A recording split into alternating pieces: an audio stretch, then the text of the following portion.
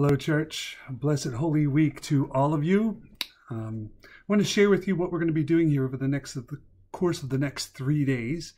On Monday, Tuesday, and Wednesday of Holy Week at noon, we will post a, a devotional piece based on the reading for the day um, for the churches. And when I say um, we, what do I mean by that? Well, I mean that uh, Pastor Kelly from Augsburg Lutheran Church, Pastor Brenda from Our Savior Lutheran Church, myself talked and agreed that each one of us would do a uh, devotion for one of those days, and then we would post it to our uh, our social media page, YouTube page, whatever that is, and then share it between the three churches over the course of those three days. And I'm doing the first one, and just let you know how that will go. Uh, there will be a reading. Uh, ours is from Hebrews today. And then uh, there'll be a short devotion, prayer at the end, and uh, that will be it. But it will be something that everyone can tune into uh, from the three churches over the courses of these three days of Holy Week that will hopefully enrich your Holy Week experience. So let's start with the reading.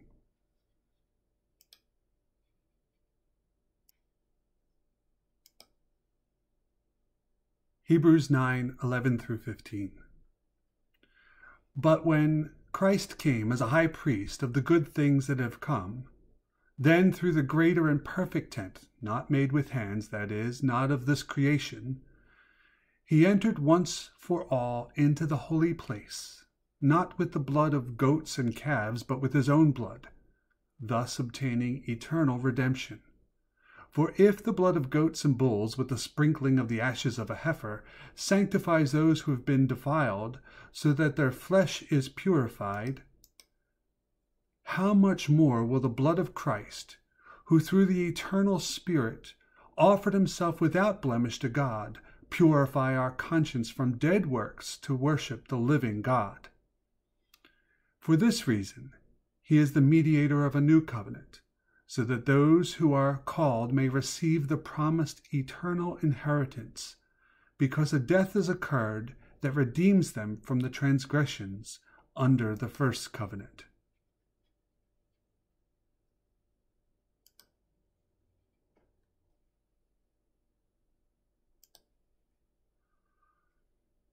The book of Hebrews is one of those books that tends to be a little confusing to us all, but it is also an incredibly important book because it helps us to see the thread of God's salvation story sewn throughout the entire Bible, holding Old and New Testament together.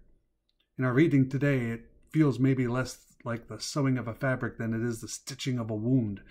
If you've ever read the Bible, if you have studied the Bible in any detail, you may have wondered about the sacrifices of the Old Testament. How does the blood of an innocent animal offered by sinful people appease a vengeful God? The book of Hebrews tells us this idea was always flawed. It was flawed in so many ways. The people were sinful, the priest was sinful, the sacrifice was never really perfect. But what we understood, what the sacrifice reminded us of, was that somehow, some way, our sins needed to be atoned for. Things needed to be made right. We just had it all wrong. Our imperfect sacrifices were never going to placate an angry God, nor was that the point. They were always a foreshadowing of the perfect sacrifice to come made by the perfect high priest. It was always about a loving God giving the blood sacrifice demanded by a sinful people. We thought, and sometimes we still act like, the sacrifice is ours to give. But the truth is that God knew all along that only God could offer this sacrifice. Jesus entered once for all into the holy place, not with the blood of goats and calves, but with his own blood thus obtaining eternal redemption.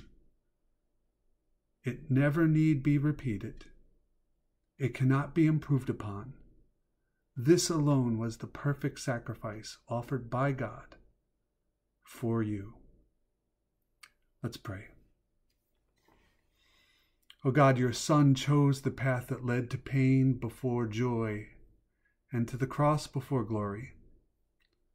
Plant his cross in our hearts so that in its power and love we may come at last to joy and glory through Jesus Christ, our Savior and Lord, who lives and reigns with you and the Holy Spirit, one God, now and forever. Amen.